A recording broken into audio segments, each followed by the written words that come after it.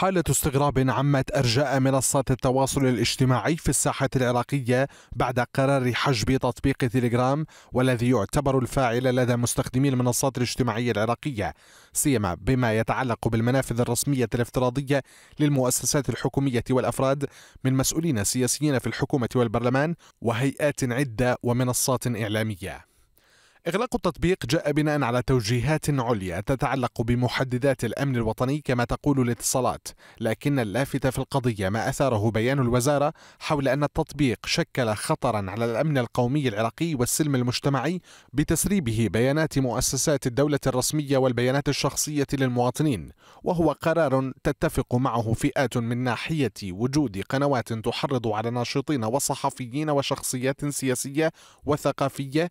وأخرى تسرب بيانات العراقيين. لكن فئات أخرى تختلف مع القرار من حيث أن هناك تناقضا في اتخاذه حول تطبيق تنشر فيه مؤسسات رسمية ومنصات إعلامية تعتبر رصينة عراقيا. وهو ما فتح باب التكهنات بمصير مؤشر الحريات عند طيف واسع من الناشطين تماما كما اعتبر البعض أن حرية التعبير والاتصال ظلت عبر قوانين تتخذ من بنود ومواد فضفاضة بوابة لتضييق الخناق على حرية استخدام الإنترنت في البلاد. ويذكر في هذا الإطار ما وصلت إليه تقارير ودراسات مؤسسات محلية وعالمية إلى نسبة أكثر من 90% من العراقيين لا يشعرون بحرية في التعبير عند استخدام منصات الإنترنت الاجتماعية.